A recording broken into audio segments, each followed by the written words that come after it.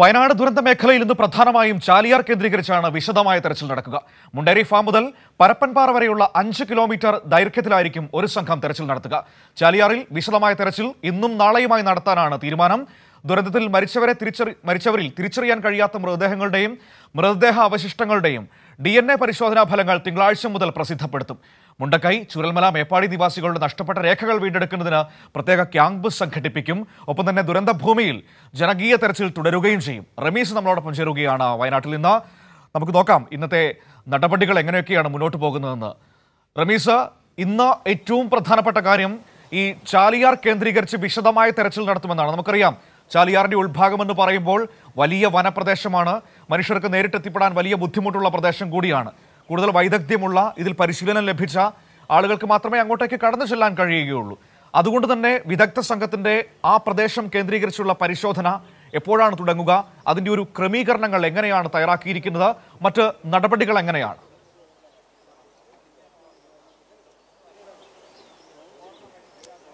മനു മനു സൂചിപ്പിച്ചതുപോലെ തന്നെ നാൽപ്പത് കിലോമീറ്ററിലധികം നീളമുള്ള പുഴയാണ് ചാലിയാർ പുഴ. ഈ ഉരുൾപൊട്ടൽ ഉണ്ടായതിനു ശേഷം കൂടുതൽ മൃതദേഹങ്ങൾ ലഭിച്ചതും ചാലിയാർ പുഴയിൽ നിന്നാണ്. അതുകൊണ്ട് തന്നെ നിലവിൽ നൂറ്റി മുപ്പത് പേരെയാണ് കാണാമറിയത്തായുള്ളത് അവരെ കണ്ടെത്താനുള്ള തിരച്ചിൽ ചാലിയാറിൽ കേന്ദ്രീകരിച്ച് പരിശോധന ശക്തമാക്കാൻ തന്നെയാണ് അധികൃതരുടെ തീരുമാനം. ഈ തീരുമാനത്തിന്റെ ഭാഗമായി ചാലിയാറിൽ തിങ്കളും ചൊവ്വയും വിശദമായ തിരച്ചിൽ ആരംഭിക്കുമെന്ന് നേരത്തെ തന്നെ പ്രഖ്യാപിച്ചിരുന്നു. അതിന്റെ ഭാഗമായി ഇന്ന് രാവിലെ ഏഴ് മണി കൂടി ഏഴ് മണിയോടുകൂടി തന്നെ പ്രത്യേക സംഘം ഈ മേഖലയിലേക്ക് തിരച്ചിലിനായി പോകും. എൻ ഡി ആർ എഫും ഫയർഫോഴ്സ് ഫോറസ്റ്റ് പോലീസ് എന്നിങ്ങനെ എന്നിവരടങ്ങുന്ന അറുപത് അംഗ സംഘമാണ് ഈ മേഖലകളിലൊക്കെയും തന്നെ തിരച്ചിലിനായി പോവുക. പ്രത്യേകം വിദഗ്ധ പരിശീലനം സിദ്ധിച്ചവർ മാത്രമേ ഈ മേഖലകളിൽ പരിശീലനം ഈ പരിശോധന നടത്താൻ സാധ്യമാവുകയുള്ളൂ. കാരണം നേരത്തെ സൂചിപ്പിച്ചതുപോലെ ഉൾപ്രദേശമാണ് അതുപോലെ തന്നെ അപകടം നിറഞ്ഞ മേഖലയാണ്. അതുകൊണ്ട് സന്നദ്ധ പ്രവർത്തകരെയോ അതുപോലെ തന്നെ നാട്ടുകാരെയോ ഈ ഒരു ദൗത്യ സംഘത്തിൽ ഉൾപ്പെടുത്താൻ സാധിക്കില്ല. പ്രത്യേക പരിശീലനം സിദ്ധിച്ചവരെ മാത്രമേ ഈ മേഖലകളിൽ പരിശോധനയ്ക്കായി ഉപയോഗിക്കാവൂ എന്ന് നേരത്തെ തന്നെ മുന്നറിയിപ്പ് കൊടുത്തിട്ടുണ്ടായിരുന്നു. അതിന്റെ ഭാഗമായി അറുപതംഗ സംഘത്തിനെ നാട്ടുകാർ ഉൾപ്പെടാത്ത N D R F fire force forest police എന്നിവരടങ്ങുന്ന അറുപതംഗ സംഘത്തെയാണ് ഈ മേഖലകളിലേക്ക് തിരിച്ചിട്ടുള്ളത്. ആകെ അഞ്ച് മേഖലകൾ തിരിച്ചാണ് ഇന്ന് പരിശോധന നടക്കുന്നത്. അതിൽ ഒരു ടീം നേരത്തെ സൂചിപ്പിച്ചതുപോലെ പരപ്പൻപാറ മുതൽ മുണ്ടേരി ഫാം വരെയുള്ളത് ഒരു സെക്ടറായും മറ്റൊന്ന് പാണൻകായ മുതൽ പൂക്കോട്ടുമന വരെ മറ്റൊരു സെക്ടറായും. ഇവിടെ അൻപത് അംഗ സംഘമായിരിക്കും തെരച്ചിൽ നടത്തുക. ഇവിടെ പത്ത് സന്നദ്ധ പ്രവർത്തകരെയും ഈ കൂട്ടത്തിൽ ഉൾപ്പെടുത്തി അൻപത് അംഗ സംഘമാണ് പരിശോധന നടത്തുക. മൂന്നാമത്തെ സെക്ടർ പൂക്കോട്ടുമന മുതൽ ചാലിയാർ മുക്ക് വരെയും മറ്റൊന്ന് പാണൻകായ മുതൽ പൂക്കോട്ടുമന വരെയാണ്. ഇവിടങ്ങളിൽ ഇരുപത് സന്നദ്ധ പ്രവർത്തകരും പത്ത് പോലീസുകാരും അടങ്ങുന്ന മുപ്പതംഗ സംഘങ്ങളും തിരച്ചിൽ നടത്തും. മറ്റൊരു അഞ്ചാമത്തെ സെക്ടർ എന്നുള്ളത് ഇരുട്ടുകുത്തി മുതൽ കുമ്പളപ്പാറ വരെയുള്ള മേഖലകളാണ്. ഇവിടെ സന്നദ്ധ പ്രവർത്തകർ ഉൾപ്പെടുന്ന നാൽപ്പതംഗ സംഘവും തിരച്ചിൽ നടത്തും. ഇത്തരത്തിലാണ് ഇന്ന് ഈ മേഖലകളിലൊക്കെയും തന്നെ രക്ഷാദൗത്യ മേഖലകളിലൊക്കെയും തന്നെ തിരച്ചിൽ നടത്താൻ ഉള്ള സംവിധാനങ്ങളും ക്രമീകരണങ്ങളും ഏർപ്പെടുത്തിയിട്ടുള്ളത്. എന്തായാലും രാവിലെ ഏഴ് മണി ഏഴ് മണി കൊണ്ട് തന്നെ മുണ്ടേരി ഫാം മേഖലയിൽ തുടങ്ങുന്ന തിരച്ചിൽ ഉച്ചയ്ക്ക് രണ്ട് മണിക്ക് പരപ്പൻപാറയിൽ അവസാനിക്കുന്ന രീതിയിലാണ് സമയം ക്രമീകരിച്ചിരിക്കുന്നത്. എന്നാൽ ഏറ്റവും പ്രതിസന്ധി സൃഷ്ടിക്കുന്നത് മഴയാണ്. ഇന്നലെ ഈ മേഖലകളിലൊക്കെ തന്നെ തിരച്ചിൽ നടന്നുകൊണ്ടിരിക്കുമ്പോൾ മഴ ഇന്നലെ പകുതിക്ക് വെച്ച് തെരച്ചിൽ അവസാനിപ്പിക്കേണ്ട ഒരു സാഹചര്യമുണ്ടായി. കനത്ത മഴയാണ് പെയ്തത്. പോലീസ് അവിടെ തെരച്ചിൽ നടത്തുന്ന സന്നദ്ധ പ്രവർത്തകരെയും മറ്റ് സേനാംഗങ്ങളെയും ഒക്കെ വളരെ വേഗത്തിൽ മാറ്റുകയായിരുന്നു. ഇന്നലെ രാത്രിയിലും ആ കാലാവസ്ഥ തുടരുകയായിരുന്നോ. ഇപ്പോഴത്തെ ഒരു സ്ഥിതി എന്താണ്?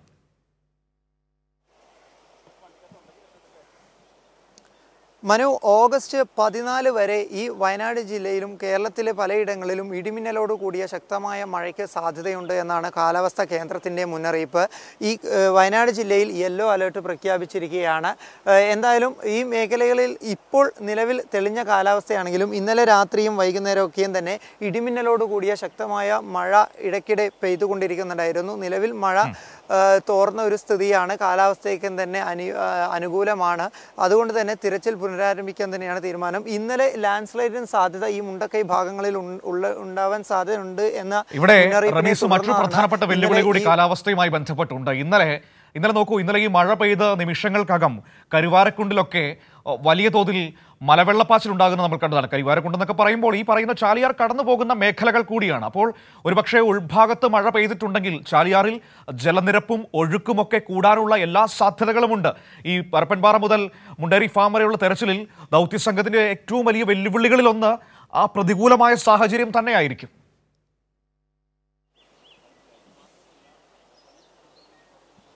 തീർച്ചയായും മനു. അത് ഭയപ്പെടുത്തുന്നൊരു കാര്യമാണ് ആശങ്കപ്പെടുത്തുന്നൊരു കാര്യമാണ്. ഇന്നലെ ആദ്യം മഴ ശക്തമായത് മുണ്ടക്കൈ മേഖലയിലാണ്. ഈ മുണ്ടക്കൈ പുഞ്ചിരിമട്ടം ഭാഗം നമുക്കറിയാം ഈ ഒരു ഉരുൾപൊട്ടലിന്റെ പ്രഭവ കേന്ദ്രം എന്ന് പറയുന്നത് പുഞ്ചിരിമട്ടം ഭാഗമാണ്. ഈ ആ കാണുന്ന മല മുകളിൽ ആ ഉരുൾപൊട്ടൽ ബാധിച്ച സ്ഥലം. അപ്പോൾ ആ ഭാഗത്താണ് കൂടുതലായിട്ട് ഇന്നലെ ശക്തമായ മഴ ആദ്യം അനുഭവപ്പെട്ടത്. അപ്പോൾ തന്നെ ആ മേഖലയിലുള്ള എല്ലാവരെയും വലിയ വാഹനങ്ങൾ അയച്ചുകൊണ്ട് ബെയിലി പാലം വഴി നടന്നുകൊണ്ടായിരുന്നു രക്ഷാദൗത്യ സംഘങ്ങളെല്ലാം തന്നെ ഈ തിരച്ചിലിനായി നേരത്തെ അങ്ങോട്ടേക്ക് പോയിക്കൊണ്ടിരുന്നത്. ഈ ബെയിലി പാലം വഴി ഏഴ് മണിക്ക് എല്ലാവരെയും നടന്നുകൊണ്ട് നാല് നാലര കിലോമീറ്റർ അകലെയുള്ള പുഞ്ചിരിമട്ടത്തേക്ക് നടന്നുകൊണ്ടായിരുന്നു പോയിക്കൊണ്ടിരുന്നത്.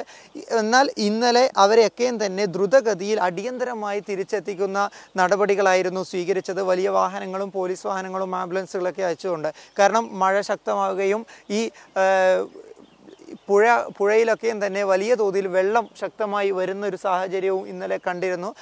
അതിനാൽ തന്നെ ഒരു ആശങ്കപ്പെടുത്തുന്ന ഒരു സാഹചര്യം ഇന്നലെ ചെറുതായി ഉണ്ടായി. മാത്രമല്ല ഉരുൾപൊട്ടലിന് സാധ്യതയുണ്ട് എന്നൊരു മുന്നറിയിപ്പും ഉണ്ടായതിനെ ഉണ്ടാവുകയും ചെയ്തിട്ടുണ്ടായിരുന്നു.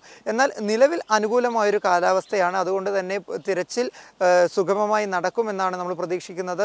നേരത്തെ പറഞ്ഞതുപോലെ നൂറ്റി മുപ്പത് പേരെയാണ് ഇനി കാണാൻ കാണാമറിയത്തുള്ളത് എന്നാണ് വിദ്യാഭ്യാസ വകുപ്പും തദ്ദേശ സ്വയംഭരണ വകുപ്പും അതുപോലെ തന്നെ ആശാ വർക്കർമാരെയും ചേർത്തുകൊണ്ട് നടത്തിയ കണക്കെടുപ്പിൽ മനസ്സിലായിട്ടുള്ളത് മനു.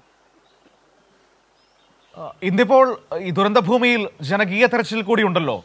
നമുക്കറിയാം നമുക്കറിയാം കഴിഞ്ഞ ദിവസങ്ങളിലൊക്കെ മന്ത്രി മുഹമ്മദ് റിയാസ് പറഞ്ഞൊരു കാര്യമുണ്ട്. രണ്ടായിരത്തോളം ആളുകളാണ് ഈ തെരച്ചിലിൽ പങ്കാളികളായത്. നോക്കൂ ഈ സന്നദ്ധ അതിൽ വിവിധ സേനാ വിഭാഗങ്ങളുണ്ട് സന്നദ്ധ പ്രവർത്തകരുണ്ട്. അതോടൊപ്പം തന്നെ നാട്ടുകാരും ആ തെരച്ചിലിൽ പങ്കാളികളാകുന്ന ഒരു ഒരു കാഴ്ചയാണ് നമുക്കവിടെ കാണാൻ കഴിഞ്ഞത്. ഇന്ന് ജനകീയ തെരച്ചിൽ എങ്ങനെയാണ് തീരുമാനിച്ചിരിക്കുന്നത്? ഈ കഴിഞ്ഞ ദിവസങ്ങളിലേതുപോലെ തന്നെ ഈ ആറ് സെക്ടറുകളായി തിരിച്ചിട്ടുള്ള പ്രവർത്തനം തന്നെയാണോ? അതോ ഈ പുഴയിലെ ദൗത്യമുള്ളത് കൊണ്ട് അതിൽ വേറെ ഏതെങ്കിലും മാറ്റങ്ങൾ വരുത്തിയിട്ടുണ്ടോ?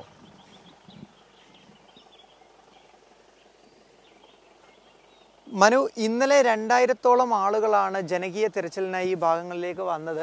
മാത്രമല്ല ക്യാമ്പുകളിൽ നിന്ന് സന്നദ്ധരായിട്ടുള്ള ആളുകളൊക്കെ തന്നെ ഉൾപ്പെടുത്തിക്കൊണ്ട് ഈ പ്രദേശവാസികൾക്കും ഈ ഭാഗത്തോട് ചിരപരിചിതരായ ആളുകളുമായി സഹകരണത്തോടു കൂടിയാണ് പരിശോധന നടത്താൻ തീരുമാനിച്ചത്. പക്ഷേ ഇന്ന് ഈ രണ്ടായിരത്തോളം എന്ന കണക്ക് ലഭ്യമാവുമോ എന്നുള്ള കാര്യത്തിൽ അധികൃതർക്ക് ആശങ്കയുണ്ട്.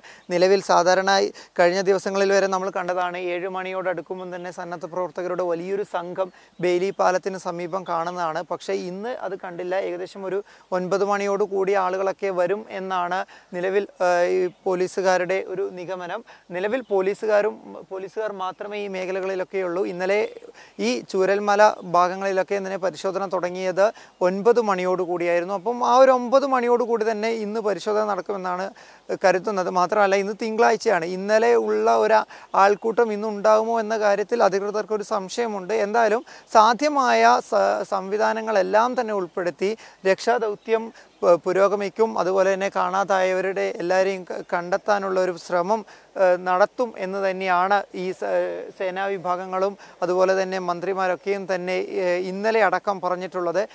ആ ഒരു ലക്ഷ്യം അത് പൂർത്തീകരിക്കുന്നതിന് വേണ്ടിയിട്ടുള്ള എല്ലാ സംവിധാനങ്ങളും ഇവിടെ എത്തിച്ചിട്ടുമുണ്ട്. അതിന്റെ ഭാഗമായാണ് ഇന്നും നാളെയുമായി നാളെയുമായിക്കൊണ്ട് ചാലിയാർ കേന്ദ്രീകരിച്ചുള്ള പരിശോധനയും അതുപോലെ തന്നെ ഈ മേഖലകളിലൊക്കെയും തന്നെ രണ്ട് നില വീടുകളാണ് പലയിടത്തും. മാത്രമല്ല പല വീടുകളും അപകടം പറ്റാത്ത നാശനഷ്ടം സംഭവിക്കാത്ത വീടുകളുണ്ട്. അപ്പോൾ ആ വീടുകളിലൊക്കെയും തന്നെ പല വിലപ്പെട്ട വസ്തുക്കളുമുണ്ട്. ആ ആ സാധനങ്ങളൊക്കെയും തന്നെ ഈ അധി ഈ അധികൃതരുടെ ഈ ആ- വീട്ടുകാരുടെ തന്നെ ഉടമ സാന്നിധ്യത്തിൽ പരിശോധന നടത്തുന്നതിനു വേണ്ടിയാണ് ഇപ്പോൾ ഇപ്പോൾ സംവിധാനം ഒരുക്കിയിട്ടുള്ളത്. ഇന്നലെയൊക്കെയും തന്നെ നമ്മൾ കണ്ടതാണ് ദൃശ്യങ്ങളിൽ.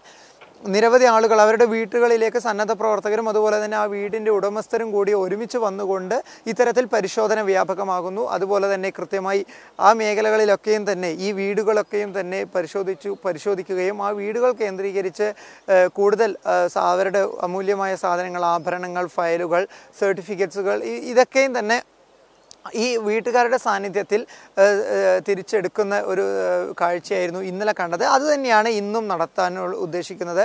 കാരണം ഈ ഭാഗങ്ങളിലൊക്കെ തന്നെ പ്രാഥമികമായ പരിശോധന കഴിഞ്ഞു. അതുപോലെ തന്നെ ഹിറ്റാച്ചുകളും ജെ സി ബികളും ഉപയോഗിച്ചുകൊണ്ട് മണ്ണ് മണ്ണ് മാന്തിക്കൊണ്ടുള്ള പരിശോധന കഴിഞ്ഞു. അതിനു പുറമെ എയർ ഡ്രോണുകൾ ഉപയോഗിച്ചുള്ള പരിശോധനകളും റഡാറുകൾ ഉപയോഗിച്ചുള്ള പരിശോധനകളും കഴിഞ്ഞു. ഇനി നടക്കാനുള്ളത് ഈ പ്രദേശവാസികളുടെ സാന്നിധ്യത്തിൽ ഈ വീടുകളൊക്കെയും തന്നെയുള്ള പരിശോധനയാണ്. ഈ പ്രാദേശികവുമായി ചിരപരിചിതരായുള്ള ആളുകളുമായി ചേർന്നുകൊണ്ടുള്ള പരിശോധനയാണ്. അത് ഇന്നും അതാണ് ഇന്നിപ്പോൾ തുടരാൻ വേണ്ടി പോകുന്നത്. നമുക്ക് അതിലേക്ക് വരാം. ഏതായാലും ഏറ്റവും പ്രധാനപ്പെട്ട കാര്യം ഇന്നത്തെ പ്രധാനപ്പെട്ട പരിശോധനാ ഇടമെന്ന് പറയുന്നത് അത് ഈ ചാലിയാറിന്റെ തീരങ്ങൾ ഉൾഭാഗങ്ങൾ വനപ്രദേശങ്ങൾ കേന്ദ്രീകരിച്ചുകൊണ്ടുള്ള തിരച്ചിലാണ് എന്നതാണ് ഏറ്റവും പ്രധാനമായ കാര്യം. അതായത് മുണ്ടേരി ഫാം മുതൽ പരപ്പൻപാറ വരെയുള്ള അഞ്ച് കിലോമീറ്റർ പ്രദേശം അവിടം കേന്ദ്രീകരിച്ചാണ് ഇന്ന് തെരച്ചിൽ നടക്കുക. അത് അതീവ ദുർഘടം പിടിച്ച പ്രദേശം കൂടിയാണ്. അങ്ങോട്ടേക്ക് രാവിലെ മുതൽ തെരച്ചിൽ ആരംഭിക്കും. അതോടൊപ്പം തന്നെ ഇപ്പോൾ റമീസൊക്കെ നമ്മളോട് സംസാരിച്ച ഈ ചൂരൽമല മുണ്ടക്കൈ പുഞ്ചിരിമട്ടം ഒപ്പം തന്നെ വെള്ളാർമല സ്കൂൾ ആ പ്രദേശങ്ങളിലെല്ലാം ജനകീയ തെരച്ചിലും തുടരും. ഒരു ഒൻപത് മണിയോട് കൂടി തെരച്ചിൽ ആരംഭിക്കുമെന്നാണ് നമുക്ക് മനസ്സിലാക്കാൻ കഴിയുന്നത്. ഇന്ന് അവിടെ നേരിടുന്ന ഒരു പ്രധാനപ്പെട്ട വെല്ലുവിളി എന്ന് പറയുന്നത് ഈ അടിക്കടി കാലാവസ്ഥയിൽ ഉണ്ടാകുന്ന മാറ്റം തന്നെയാണ്. നമുക്കറിയാം ഇന്നലെ കണ്ടതാണ് ശക്തമായ മഴ വൈകുന്നേരം പെയ്യുന്നു. അതോടെ തെരച്ചിൽ വേഗത്തിൽ അവസാനിപ്പിക്കേണ്ടി വരുന്ന ഒരു സാഹചര്യം ഉണ്ടാകുന്നു. കാരണം വലിയ തോതിൽ മഴ പെയ്യുമ്പോൾ ഒരു ഭീതിയുടെ മുനമ്പിൽ തന്നെയാണ് ഇപ്പോഴും ആ പ്രദേശം നിൽക്കുന്നത്. ആ ആശങ്ക എല്ലാവരുടെയും മനസ്സിലുണ്ട്. അതുകൊണ്ട് തന്നെയാണ് ആളുകളെയൊക്കെ വളരെ വേഗം അവിടെ നിന്ന് മാറ്റി തെരച്ചിൽ അവസാനിപ്പിച്ച ഒരു സാഹചര്യം ഇന്നലെ നമുക്ക് കാണാൻ വേണ്ടി കഴിഞ്ഞത്. ഒപ്പം തന്നെ ഇന്നത്തെ മറ്റൊരു പ്രധാനപ്പെട്ട കാര്യം ഈ ഡി പരിശോധനാ ഫലങ്ങൾ. അതായത് നമുക്കറിയാം തിരിച്ചറിയാൻ കഴിയാതെ പോയ ഒരുപാട് മൃതദേഹങ്ങൾ ഉണ്ടായിരുന്നു അപ്പോൾ അതിന്റെയൊക്കെ ഡി എൻ എ സാമ്പിളുകൾ എടുത്തിട്ടുണ്ടായിരുന്നു. ആ ഡി എൻ എ പരിശോധനാ ഫലങ്ങൾ ഇന്നു മുതൽ പ്രസിദ്ധപ്പെടുത്തി തുടങ്ങുമെന്നതാണ് മറ്റൊരു കാര്യം. ഒപ്പം തന്നെ ഇനി നമുക്ക് മുന്നോട്ട് പോകുമ്പോൾ ഏറ്റവും പ്രധാനപ്പെട്ട കാര്യം ഈ അതിജീവിച്ചെത്തിയ മനുഷ്യരുടെ പലരുടെയും രേഖകൾ സർട്ടിഫിക്കറ്റുകൾ ആധാർ ഒപ്പം തന്നെ അവരുടെ ബാങ്ക് രേഖകൾ മറ്റെല്ലാ കാര്യങ്ങളും നഷ്ടപ്പെട്ടിട്ടുണ്ടാകാം. അത് വീണ്ടെടുക്കുന്ന ഒരു വലിയ നടപടിക്രമമുണ്ട് പ്രക്രിയയുണ്ട്. അതിന് പ്രത്യേക ക്യാമ്പുകൾ സംഘടിപ്പിക്കാനാണ് ദുരിതാശ്വാസ ക്യാമ്പുകൾ കേന്ദ്രീകരിച്ച് സർക്കാർ തീരുമാനിച്ചിരിക്കുന്നത്. അതിന്റെ നടപടികളിലേക്കും കടക്കുന്നു എന്നതാണ് ഏറ്റവും പ്രധാനപ്പെട്ട മറ്റൊരു കാര്യം.